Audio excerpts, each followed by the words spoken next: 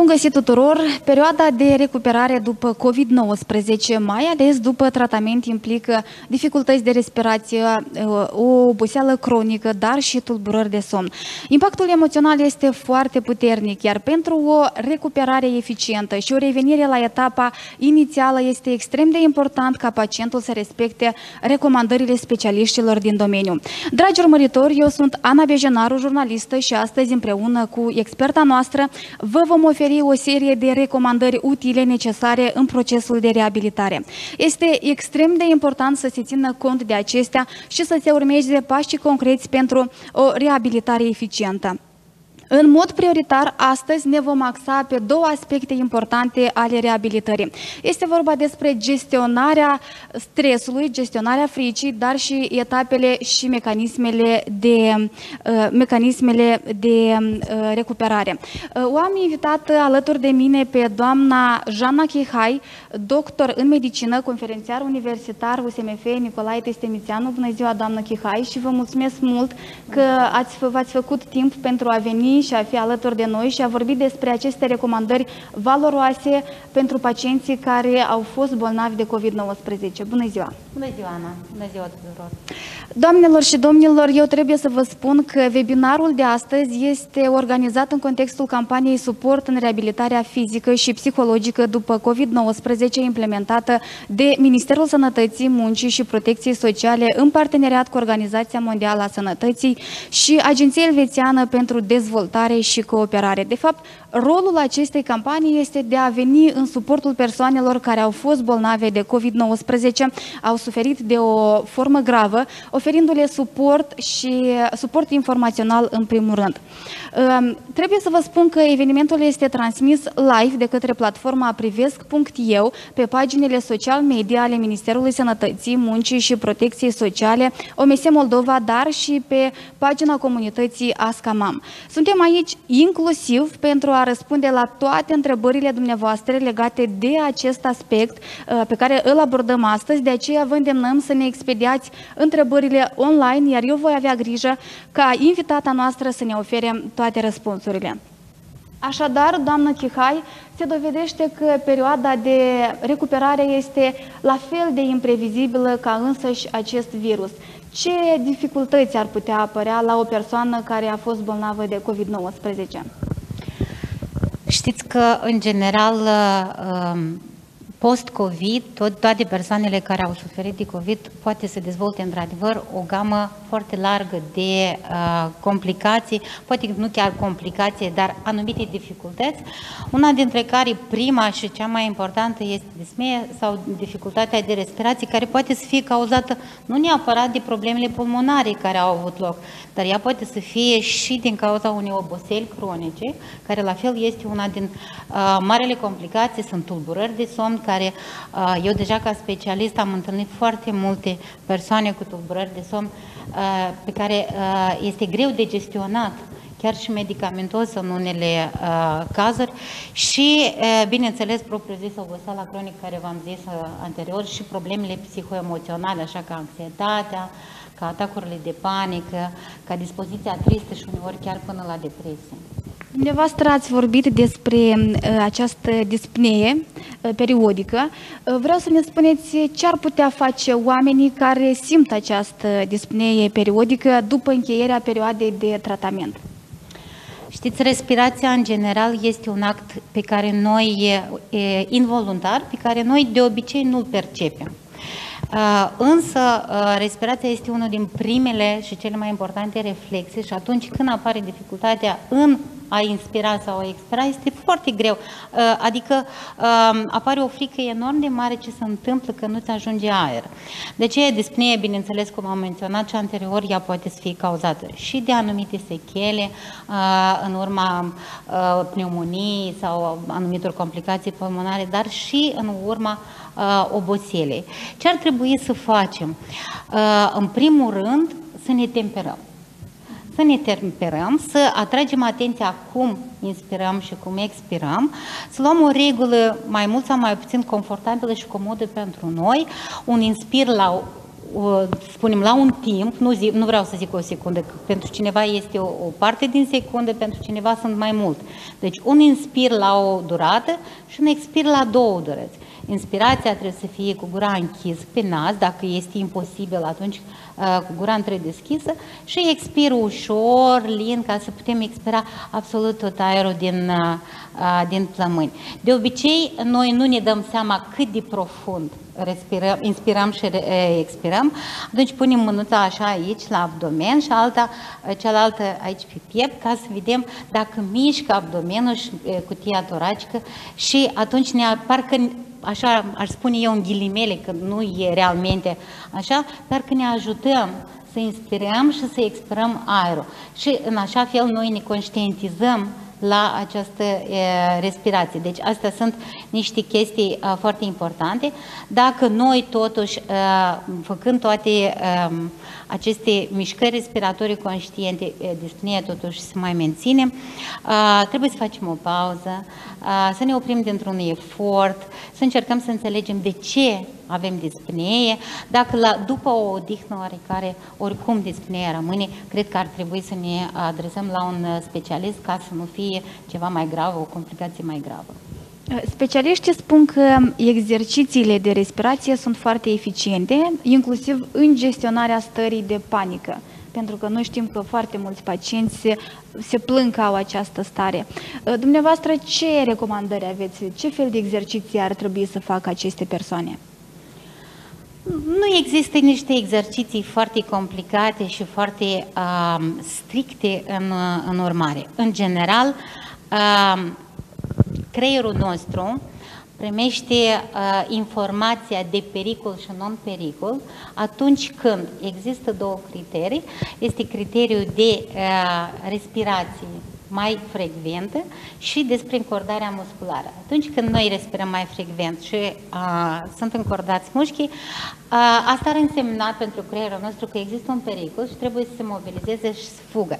Și în cazurile respective noi dezvoltăm anxietatea, mobilizăm, dar și dezvoltăm anxietatea.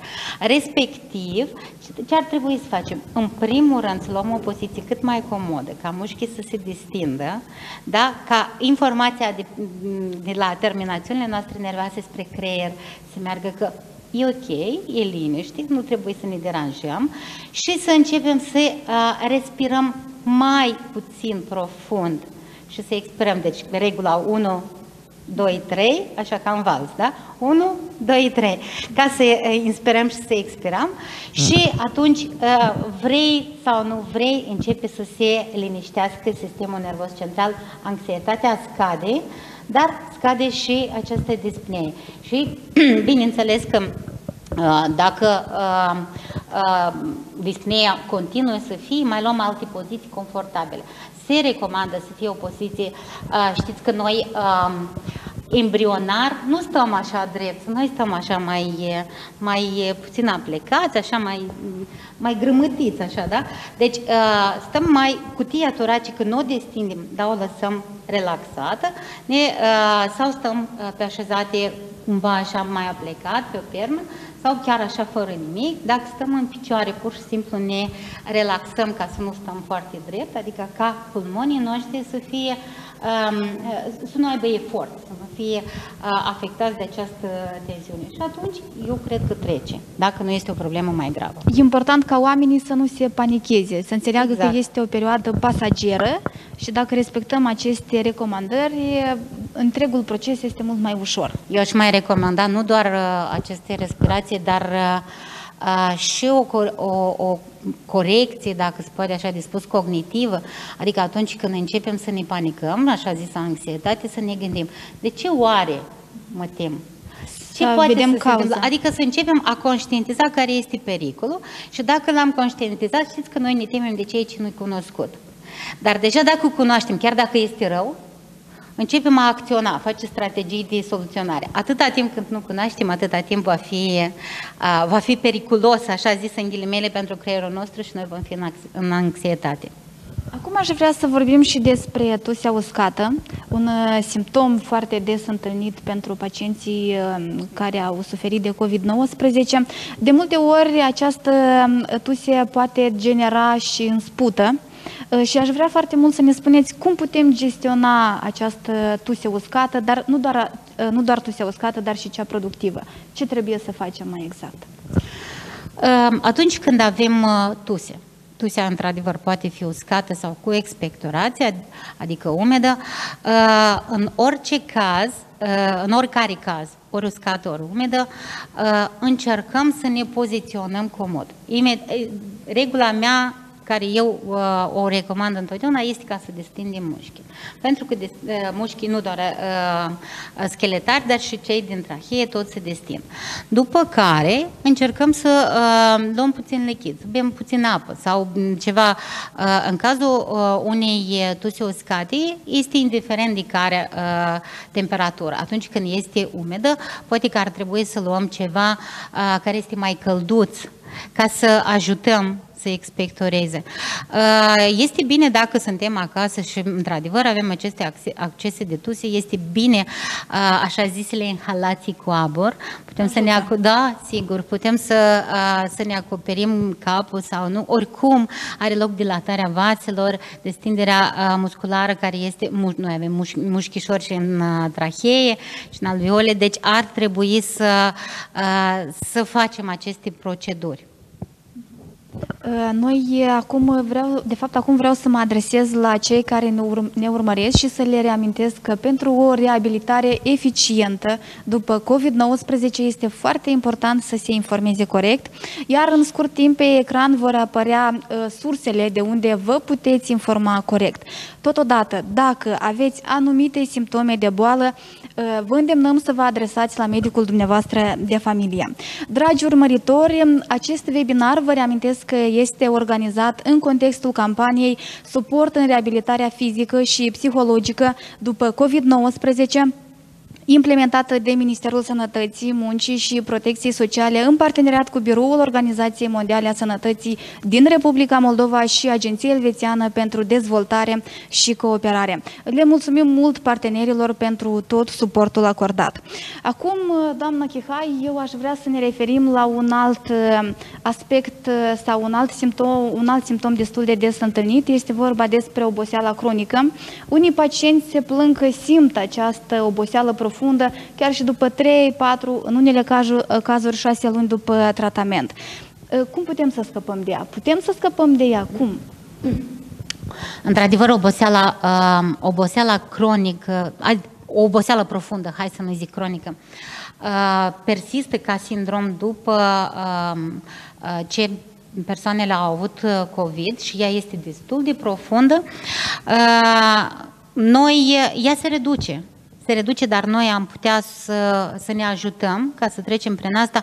Uh, ce se subînțelege sub această oboseală? Oamenii uh, sau mm, care au avut uh, COVID um, nu pot dormi, de exemplu. Sau Pentru simt o moloșeală, o stare uh, permanentă da. de, obo- de Sau de alții sunt foarte somnolenți, însă dimineață, când se trezesc, uh, nu sunt regenerați, se simt obosiți din nou. Deci, uh, chiar dacă somnul a fost odihnitor, orice efort fizic foarte mic, îi epuizează extraordinar de rapid și asta este foarte greu. Eu, uh, prima menționare care, ca mențiune referitor la oboseală, am avut-o când una din studentele mele um, a trecut prin COVID chiar în martie, pentru că era într-o instituție medicală uh, și fiind și la uh, unul din anii de absolvire, la noi este învățământul modular, deci se trece modulul și după asta se dă examene. Și ea îmi spune, doamna doctor, nu pot să înțeleg, uh, am învățat două zile pentru examen, în ziua examenului am dat și după asta trei zile nu mă pot trezi pentru că sunt extrem de obosită. Asta a fost prima, uh, prima mea mențiune care eu am uh, remarcat-o referitor la oboseală și acum noi știm că evidențele spun chestia asta. Deci ar trebui să, uh, să facem? În primul rând să ne protejăm, energia noastră vitală. Da? Ar trebui cumva să ne uh, conservăm în anumite mișcări inutile și anumite acțiuni inutile, bineînțeles nu doar fizice, dar și uh, emoționale, pentru că asta tot epuizează, uh, și să ne luăm niște, să facem niște strategii care sunt foarte individuale pentru fiecare, cum să gestionăm activitățile zilei, cum să ne aranjăm, ce să ne facem, cum să ne uh, organizăm comod dacă stăm acasă sau la serviciu, în așa fel ca uh, să nu cheltuim toată energia pe care o avem noi uh, rezervată la moment. Da, este oboseală și trebuie să uh, realizăm chestia asta. Dar în ce măsură efectuarea activităților care ne plac, petrecerea timpului alături de cei dragi, uh, poate contribui la combaterea acestei stări? Uh, noi ne regenerăm uh, făcând câteva acțiuni. Prima este somnul, este, este cel mai uh, util mecanism de regenerare. Cât ar trebui să doarmă aceste... Nu mai puțin de 8 ore. Asta este și uh, o recomandare pentru oamenii uh, sănătoși, dar uh, dacă este posibil... Deci eu nu recomand mai mult de 10 ore. Deja asta nu este bine. De ce? Uh, ce pentru că uh, un somn normal care este uh, fixat în, în fiziologia noastră somn veche, da? în ritmul ăsta, este de 8 ore. Am putea să avem un puișor de somn pe parcursul zilei dacă îl, uh, îl putem organiza, dacă nu, nu. Deci mai mult de 8 ore, 8-9 ore, nu. Uh, și uh, bineînțeles că noi, primind plăcerea, ne încărcăm bateriile noastre energetice, de aceea este extrem de util să ne ocupăm cu ceva ce ne place. Eu nu aș spune, mie nu-mi place să spun hobby-uri, pentru că este prea mare termenul ăsta, dar dacă îți place să gătești și primești din asta o plăcere sau dacă îți place să asculți o muzică, ascultă muzică. Dacă îți place la un moment dat să faci o, nu știu, ceva de menaj, asta trebuie de făcut pentru că fiecare zâmbet extern și intern ne încarcă bateriile noastre. Deci trebuie să ne ocupăm și uh, eu am o recomandare pentru uh, pacienții mei, care, mai ales care sunt post-COVID, întotdeauna zic 1 la 3. Uh, unul la, eu sunt cu valsul. Unul la trei asta ar însemna o um, activitate, trei părți de uh, odihnă sau de regenerare. Dacă noi uh, facem 10 minute activitate, putem 30 de minute să ne odihnim. Dacă facem 10 minute de activitate fizică sau exerciții fizice, ne permitem, dacă ne dorim, putem să scurtăm. 30 de minute de odihnă. Uh, dacă ne referim la activități, facem o activitate profesional utilă, o activitate care este mai mult sau mai puțin necesară și una care ne aduce plăcere.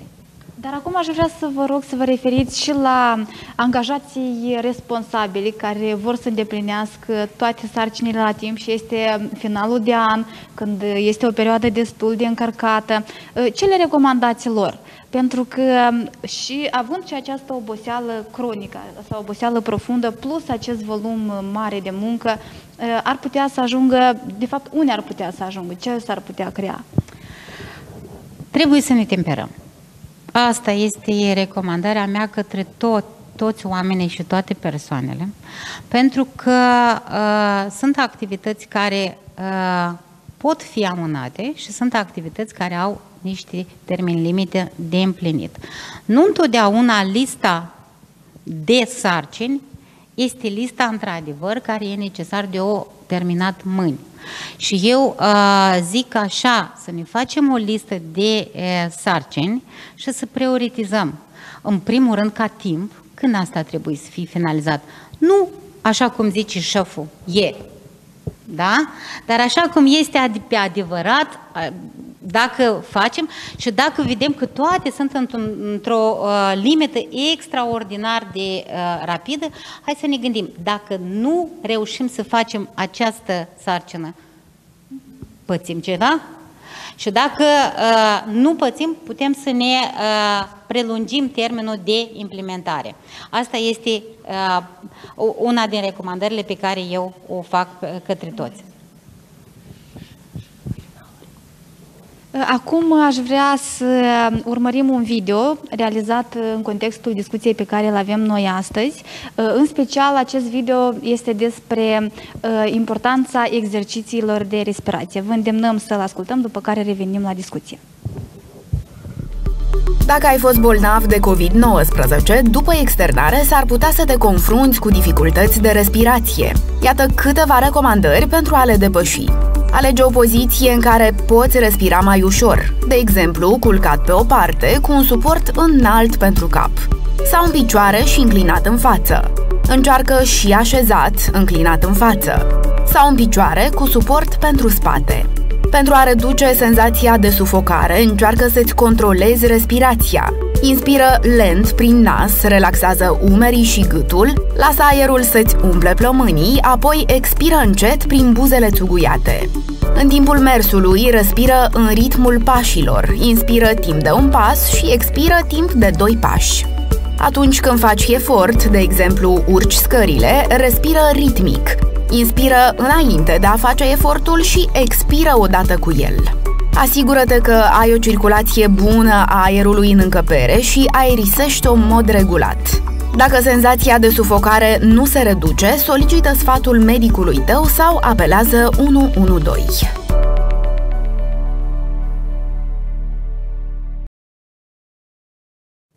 Dragi urmăritori, ați urmărit uh, spotul, uh, reportajul video realizat de colegii mei. Eu sper că ați putut desprinde niște recomandări utile din acel video pe care vă îndemnăm să le, uh, să le aplicați.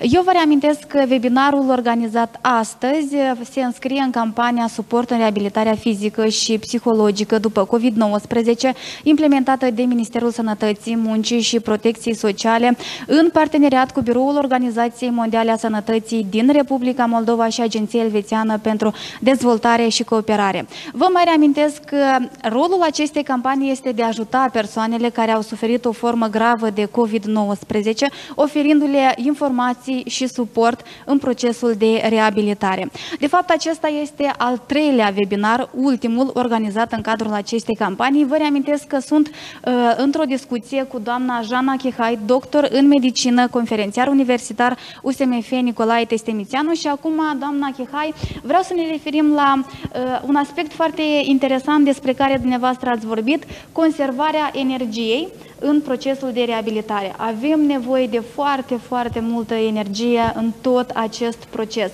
Cum o putem uh, conserva? Și energia noastră vitală este la fel ca și respirația nepercepută câteodată. Ea uh, parcă ar, așa ar trebui să fie, de fapt așa și este. Și atunci când noi uh, suntem în perioadă de recuperare, în cazul dat noi vorbim despre uh, perioada post-COVID, bineînțeles că uh, ne joacă festa câteodată prin oboseala uh, profundă sau cronică pe care o avem. Deci, uh, deja a început să mă anterior să spun că Uh, chiar și pentru uh, activitățile noastre de zi cu zi, nefiind post-COVID, dar în post-COVID este foarte important, uh, ne planificăm ziua. Ne planificăm ziua, ne planificăm săptămâna, încercăm să eliminăm activitățile inutile. Da, care ne fură timp și exact. energie. Ne, efort, timp, emoții, pentru că toate contribuie la uh, energetica noastră vitală, da? Uh, după care, dacă să ne uităm deja mai uh, în profunzime și mai punctat, uh, încercăm să ne dăm seama cum noi uh, ne organizăm lucrurile de zi cu zi. Dacă nu facem careva traseuri uh, fizice și din pași uh, inutili, da? Uh, să ne planificăm dacă mergem într-o direcție să facem mai multe lucruri, uh, să încercăm să ne punem lucrurile la uh, o înălțime comodă, ca să nu ne facem efort să ne urcăm sus, să luăm ceva, adică să ne punem toate aici. Dacă stăm acasă și, de exemplu, încercăm să ne reabilităm și stăm mai mult în pat, ne facem comod și dacă avem ceva de lucru în stând uh, în pasivitate, ne punem toate lucrurile alături ca să nu ne sculăm, să nu alergăm încolo încoa.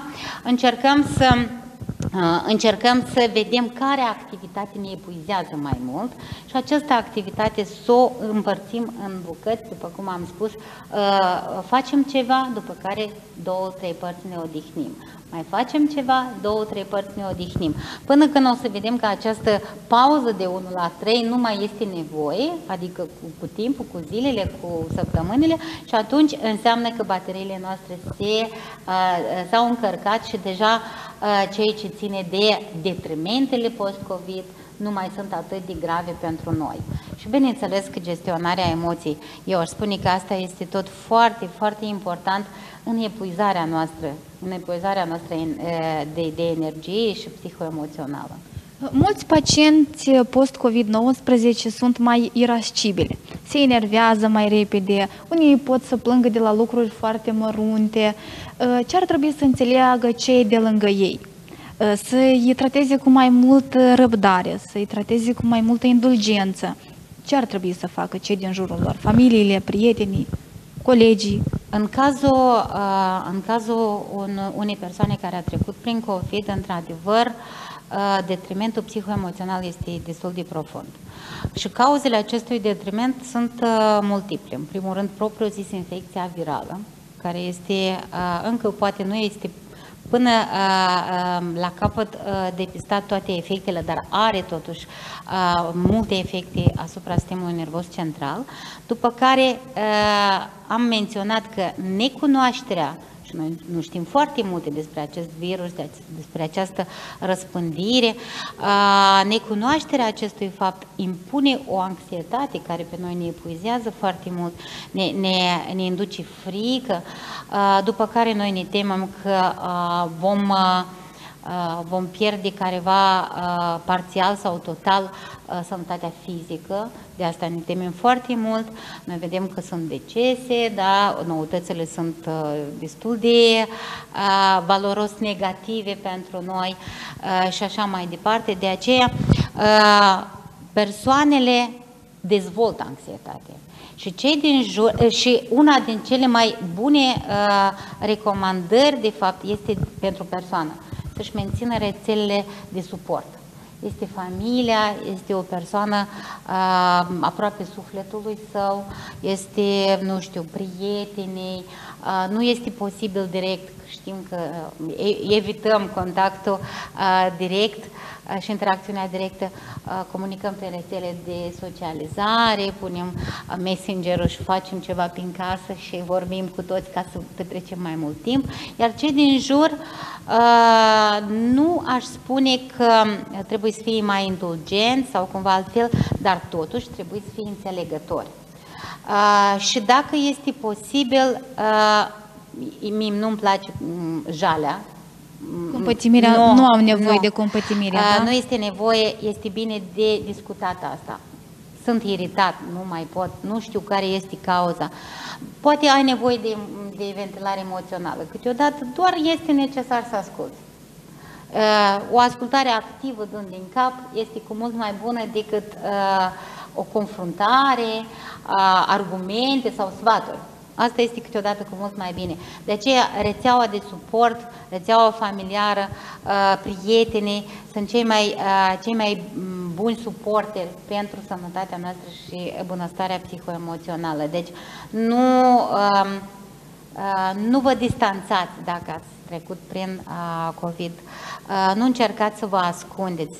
Să știți că eu am văzut, da, am văzut așa fenomen când oamenii ascund uh, Uh, că fac uh, COVID-19, pentru că anticipează că vor fi rejectați de Au fost și cazuri, s-a vorbit sunt. foarte mult în mass media și noi am avut o campanie uh, pe, prin care am încercat de fapt Stigma să combatem foarte mare, acest da. fenomen. Primii, uh, primii mei pacienți care uh, i-am văzut, cred că asta a fost chiar tot martie, când au fost externați, pentru că atunci în martie îi internau pe toți, când au fost externați și au venit acasă, au fost întâlniți de o manifestație, în ghilimele, a vecinilor cu poliția, unde vecinii cereau de la poliție de la poliție să fie uh, făcut coridor special pentru ei și a fost foarte, uh, foarte umilitor pentru persoane. cred că despre frică, o da, frică de necunoscut. Necunoașterea provoacă frică, pentru că uh, informarea este cea mai importantă. Dacă informarea vom... corectă. Da, bineînțeles. Uh, informarea corectă și dacă vom cunoaște, atunci nu sunt așa de multe temeri.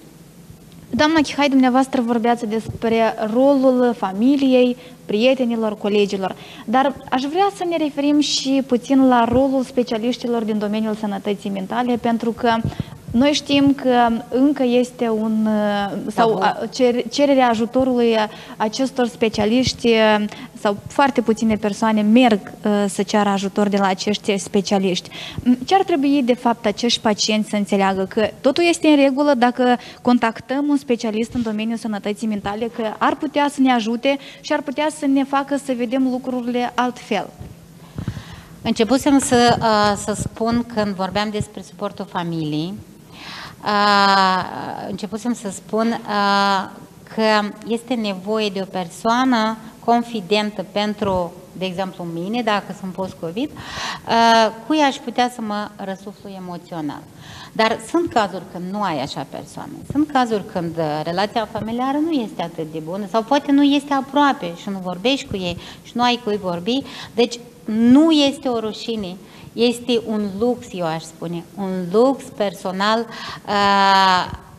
dacă te adresezi la un specialist din domeniul sănătății mentale și în special la un psiholog, psiholog clinician sau psihoterapeut, ca să poți să te destăină și să-i spui care sunt temerile tale. Pentru că el este uh, obiectiv, pentru că el este, nu este implicat emoțional în ceea ce spui uh, tu și, bineînțeles, că el va putea să-ți relateze dintr-o parte ceea ce se întâmplă, să primești un sfat sau să primești o constatare ce ai. Și oamenii ar putea fi surprinși de cât de bine te poate înțelege un uh, om de la capătul celălalt al firului de telefon fără ca să te cunoască. Exact. Până la nu-i urmă... neapărat să te... Uh, exact. Să, acum mai ales în perioada respectivă am dezvoltat foarte mult și uh, consulturile la telefon și consulturile online, că eu ziceam, înainte de pandemie, mă gândeam că telemedicina, în special telepsihiatria, uh, telepsihoterapia, nu va fi în Moldova niciodată și uh, pe noi întotdeauna ne-au învățat că trebuie să ai contact direct cu persoana și așa mai departe. Acum suntem nevoiți și chiar lucrează și chiar ajută, ajută extraordinar. De aceea eu îndemn persoanele care au trecut prin uh, COVID și au anumite dificultăți psihoemoționale, chiar dacă, um, chiar dacă au frică să se adreseze cuiva, realizați măcar un consult la un psiholog odată. Și știți că un consult deja clarifică foarte mult. Începe a, a vedea care este realitatea ta. Uh, doamnă Chihai, noi am discutat și în cadrul evenimentelor anterioare despre impactul emoțional post-COVID-19, dar totuși o să vă rog mult să ne spuneți și dumneavoastră uh, cum are loc această destabilizare a statutului psihoemoțional al unui pacient uh, infectat sau unui pacient după ce s-a vindecat de COVID-19. Ce se întâmplă mai exact? Eu Aș menționa că există o, un lanț logic de probleme uh, sau destabilizări psihoemoționale, chiar câteodată probleme de sănătate mentală. Uh, prima și cea mai importantă uh, problemă este atunci când primești noutatea că ești pozitiv, Uh, pentru că chiar dacă ai simptome, dar încă nu știi statutul că ești pozitiv, te gândești că poate am o răceală, poate am ceva, poate este ceva obișnuit, o gripă sezonieră, atunci când primești acest uh, statut, ești într-o stare de șoc, adică într-un stres acut pe care uneori este imposibil de gestionat, uneori uh, refuz spitalizarea, uneori uh, nu permit specialiștilor, specialiștilor să te ajute și așa mai departe. După care urmează o perioadă când încerci să te adaptezi ca să accepti că da, sunt. Este foarte uh, emoțional, așa merg uh, lucrurile. Uh, ulterior, după ce ai acceptat, îți dai seama că ai putea avea niște uh, complicații, ai putea să ai niște detrimente și neștiind cum ar putea să fiu eu după, încep să dezvolte anxietate. Și uh, anxietatea deja are o, să spunem așa, un spectru foarte mare de uh, probleme pe care le trage după sine, care va uh, dezvoltă confruntare, care va dezvoltă um, um, dispoziție tristă și depresie, care va... Deci sunt foarte multe destabilizări psihoemoționale și o persoană care dezvoltă uh, COVID trebuie să știe că igiena sănătății mentale este foarte importantă. Nu doar persoane, dar și specialiștii care, uh, bineînțeles că în primele uh, zile după infectare încearcă să ajute persoana fizic. Dar haideți să nu uităm despre sănătatea mentală, uh, care trebuie și această reabilitare și fizică și mentală trebuie să înceapă de la început chiar de atunci când s-a primit statutul uh, de pozitiv. Uh, pentru că două cuvinte bune, o uh, adresare, o reasigurare și asigurare că totul va fi bine, că ați putea uh, să vă simțiți puti, puțin în neliniște, ați putea avea uh, poate uh, un atac de panică, ați putea avea careva anxietate, dar asta este din cauza că nu cunoașteți și facem psihoeducație și spunem, deci trebuie să, să înțelegem că cunoașterea cunoașterea corectă a lucrurilor, asta și este una din primii pași a igienei sănătății mentale. Dar, doamna Chihai, aceste stări apar mai mult la pacienții care au avut o formă gravă de boală sau nu, nu neapărat? de nu neapărat. Chiar și uh, cei care doar au avut o formă ușoară, pentru că mulți spun că... Depinde practic... de personalitate. Uh-huh. Uh, careva din noi este mai îngrijorat, mai fricos, careva este mai nepăsător. Uh, noi toți avem diferite tipologii uh, de personalitate. Că și nepăsarea este o formă de, meca- de, de apărare. Asta e bineînțeles. Dar uh, în depende, nu de forma uh, severității uh, virale, uh, a infecției virale, dar de tipul de personalitate. Uh, asta este uh, recomandarea de bază și dacă o persoană anterior a fost uh, îngrijorată de tot ce vrei, avea retrăiri foarte rapide, uh, se destabiliza la fiecare eșec mic sau mare, uh, tulburările de somn erau destul de frecvente, deci, ca, sau, uh, de exemplu, pierdea apetitul foarte repede când apărea un stres sau o preocupare. Atunci trebuie imediat, dacă a aflat, trebuie să aibă grijă și de, de, de stabilitatea psihoemoțională. Uh, o parte dintre persoanele care s-au confruntat cu aceste stări au dezvoltat o formă de depresie, mai puțin severă sau din contra. Poate putem să spunem că această depresie a fost condiționată și de timpul de afară. Am avut în ultima perioadă lipsa soarelui, lipsa soarelui un timp ploios, copacii dezfrunziți. Cum putem uh, să gestionăm această depresie? Pentru că uh, este o problemă gravă. Eu cred că uh, timpul de afară și lipsa soarelui nu este, nu este ceea ce provoacă depresia, dar este un factor, și de aceste este un factor care uh, uh, ne ajută în ghilimele să achiziționăm această uh, tulburare de, afect, de afectivitate. Uh, depresia, în dependență de severitatea ei, are uh, diferite căi de uh, intervenție. Într-o depresie ușoară, și aici vreau să menționez că uh, nu nu, uh, nu vă rețineți să vă adresați la un specialist de sănătate, din domeniul sănătății mentale și un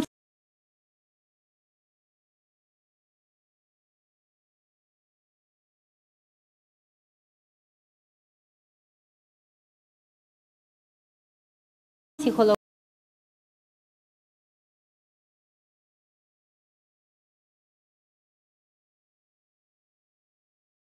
sau este de ajuns o intervenție de consiliere de scurtă durată sau este necesar deja o psihoterapie de scurtă durată sau metode mai sofisticate. Deci în, într-o depresie de gravitate medie și severă este necesar o abordare multidisciplinară, este, sunt necesare și tratamentul psihofarmacologic și psihoterapeutic și psihologic, deci toate trebuie. Asta este important să înțelegem. E important ca oamenii oamenii să înțeleagă că nu trebuie să sufere în tăcere, sunt oameni specialiști dispuși să-i ajute, doar trebuie să ceară ajutor. Asta e, de fapt, este da. cel mai greu, să, să eu vreau să, ai nevoie de Eu vreau să menționez că uh, noi specialiștii știm că atunci când se dezvoltă la o persoană anxietatea, persoana cere ajutor. Atunci când o persoană dezvoltă depresie, ea nu cere ajutor. Pentru că crede că poate gestiona Nu, singură? pentru că uh, simptomatica depresivă este o, o dispoziție tristă, o lipsă de energie și o imposibilitate de a primi plăcere de la viață. Și paralel cu toate astea este, uh, sunt uh, anumite tulburări cognitive care zic că este oricum totul este rău, pentru ce să mai fac? Deci persoana este în pasivitate uh, și de a cere ajutor. De aceea, în cazul anxietății, uh, eu știu că persoanele se adresează, dar uh, în cazul când cineva din apropierea noastră face o depresie și noi toți trebuie să știm ce înseamnă o depresie și dacă am văzut să încercăm cumva să vorbim despre asta cu persoana, să-i spunem că mie mi, mi s-a părut că ești cumva prea trist și parcă nu Uh, nu ai niciun chef să faci ce ce făceai înainte, poate că ar trebui... de viață. Da, poate că ar trebui să uh, consulți sau să vorbești cu cineva despre ceea ce te doare sau despre problemele care le ai. Deci eu aș îndemna toată lumea uh, să știe ce înseamnă depresie și dacă este cineva uh, pe lângă voi în care observați, nu fiți foarte agresivi în propunerea de ajutor, dar încercați să vorbiți despre asta. Cât de utile ar fi tehnicile de relaxare în general? Și dacă putem să facem și o paralelă cu tematica webinarului nostru de astăzi, în combaterea acestor stări per total. Pentru că relaxarea este extraordinar de importantă în procesul de reabilitare, îmbunătățește starea noastră de bine, dar totodată ne ajută să scăpăm de disconfort, de durere. Cât de importantă este această etapă? Relaxarea în viața de zi cu zi chiar este cea mai importantă. Sunt foarte multe persoane care sunt în imposibilitate de a se relaxa, care se culcă în pat să doarmă și încă rămân încordați. Deci ei nu pot să se relaxeze și eu deja am menționat încă de la început că noi, prin mușchii noștri și terminațiile nervoase, trimitem informații atunci când suntem încordați, trimitem informația că există un pericol, ceva, o, o, o neregulă în uh, mediu și uh, noi ne mobilizăm și bineînțeles că nu ne putem relaxa. Deci relaxarea este o tehnică comportamentală care vă asigur că niciodată nu vă va strica la nimic, dar uh, avantajele ei este extrem, extrem, sunt foarte mari foarte mari. Deci, uh, de multe ori, uh, poate că trebuie să ajutăm persoanele Uh, în a, a, a se organiza în aceste tehnici de relaxare. Pentru că de multe ori persoanele chiar nu se pot relaxa. Poate că unul, două ședințe, uh, dacă puteți să le faceți cu cineva în comun sau poate să vă găsiți un partener care hai și-mi face o tehnică de relaxare sau o meditație sau um, sunt foarte multe, um, să zicem așa, strategii a tehnicilor de relaxare, oricare este bună, să știți, oricare. Nu este unul mai bun, unul mai rea, sunt unele mai profesionale, care le fac psihoterapeuții, sunt mai puțin profesionale, dar tehnicile de relaxare trebuie, trebuie dar practicate. care sunt aceste tehnici? Dacă puteți să veniți cu câteva recomandări, vă rog mult. Haideți să spunem ce ce putem face acasă. Noi avem câți receptori? Cinci receptori, da? Noi avem ochi, gură, adică gust, noi avem urechi, care să auzim, noi avem piele cu care să simțim, noi avem nas cu care putem mirosi. Haide, pur și simplu, eh, punem o muzică frumoasă, închidem ochii și ne gândim. Uh, care sunt cinci mirosuri în această cameră pe care le pot eu sesiza? Este miroase a praf, miroase așa, miroase Abrad, așa. Acum. Abrad miroase. Miroase, poate ne-am pus uh, undeva o lămâie uscată ca să miroase frumos. Încer- încercăm să sesizăm uh, cinci culori care sunt în cameră, adică să activăm alt receptor. Încerc să aud care sunt cinci sunete care uh, le aud eu acum, aici și acum, în prezent. Ce simt eu cu pielea mea, cinci Uh, senzații, da? Poate aici mi fric, poate acolo este uh, o senzație de vânt sau curent și așa mai departe. Deci asta este una din cele mai simple. Uh, o altă tehnică care este foarte, deci nu, nu profesional, dar așa un, o tehnică de conștientizare a prezentului, este mindfulness, sunt foarte multe recomandări pe YouTube și eu chiar vă recomand să căutați cei ce vă place pentru că este important să-ți placă glasul care îți spune cum să respiri, ce să conștientizezi. Este o tehnică foarte bună de training autogen după Schulz unde încerci să conștientizezi senzațiile pe care noi a priori automat le, le, le avem, deci mâna caldă, mâna este grea, sunt relaxată în uh, partea de frunte și așa mai departe. Deci sunt niște tehnici foarte ușoare, uh, puteți să citiți niște indicații, dar puteți să le elaborați la propriu așa cum vă place da?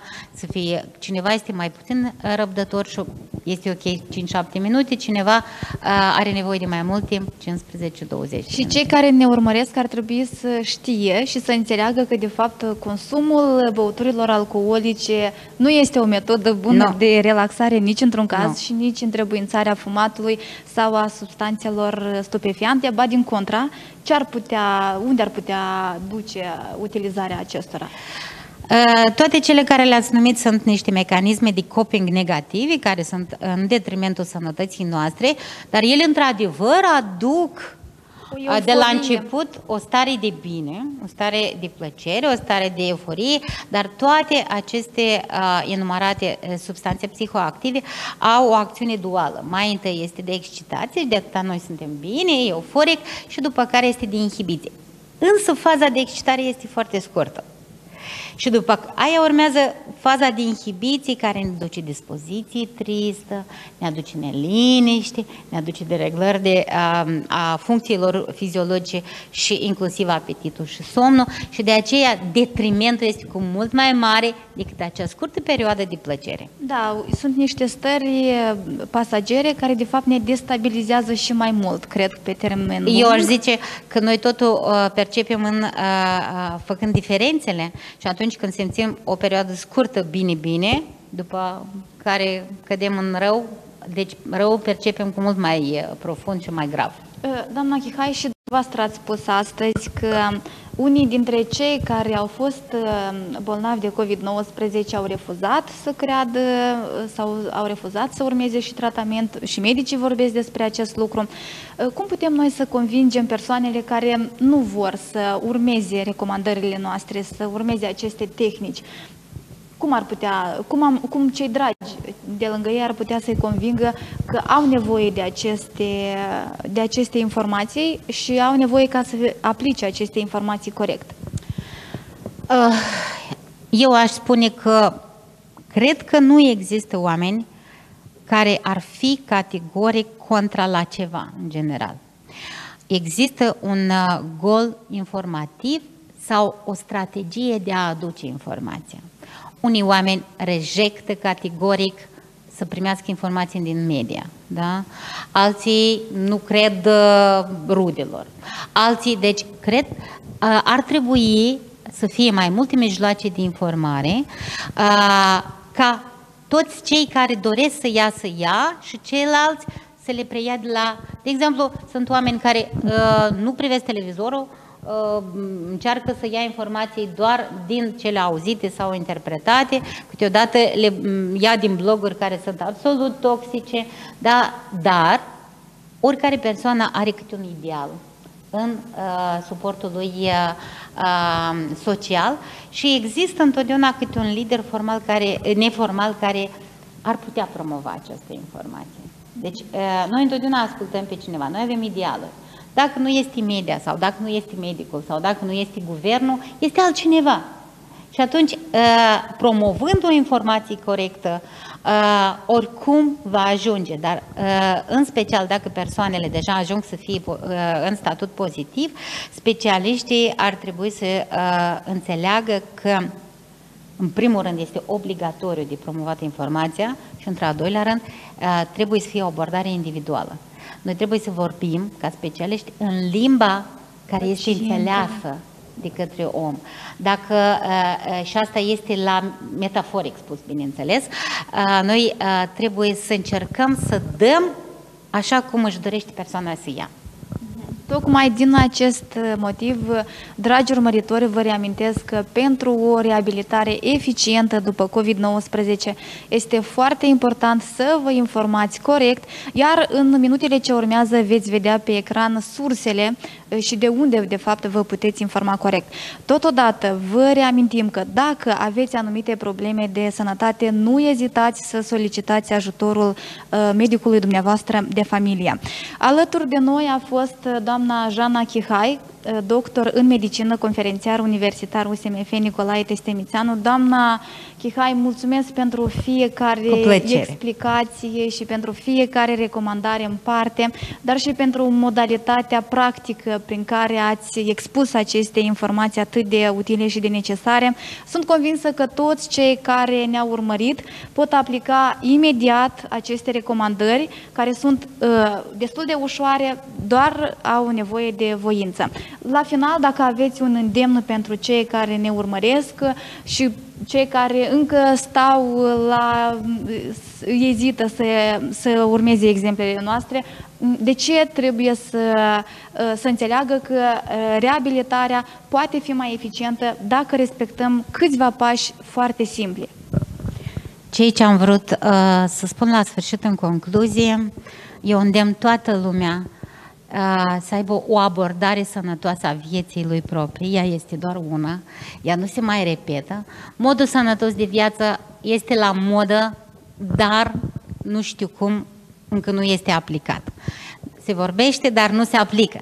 De aceea eu vă zic că chiar este uh, bine uh, să respectăm anumite norme igienice, să ne protejăm, pentru că nu mai avem, nu ne mai dă nimeni uh, încă o dată, încă o viață, uh, să dormim uh, atâta cât avem nevoie, să muncim cu abnegație, dar nu în detrimentul nostru, uh, să mâncăm sănătos și să, ne, să încercăm uh, să fim eficienți și energetic și emoțional. Eu vă doresc foarte multă sănătate, că asta nu mai cumpărați de nicăieri și la mulți ani, cu sărbătorile care vin. Mulțumim foarte mult pentru prezență, mulțumim mult. Uh, dragi urmăritori, vă reamintesc că acest eveniment face parte din campania Suport în reabilitarea fizică și psihologică după COVID-19, desfășurată de Ministerul Sănătății, Muncii și Protecției Sociale în colaborare cu Biroul Organizației Mondiale a Sănătății din Republica Moldova și Agenția Elvețiană pentru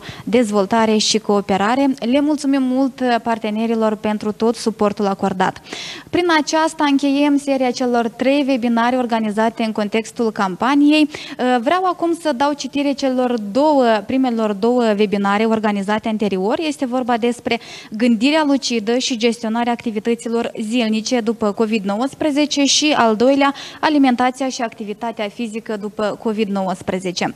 Eu vă mulțumesc în numele întregii echipe pentru toată atenția acordată și vă reamintesc că suntem în preajma sărbătorilor de iarnă, de aceea este foarte important să țineți cont în continuare de recomandările specialiștilor și să respectați măsurile de protecție, mențineți în continuare distanța fizică de cel puțin un metru, păstra, ă, purtați masca corect, evitați locurile aglomerate și evenimentele la care participă mai multe persoane, spălați-vă regulat mâinile. Aveți grijă de dumneavoastră. La revedere!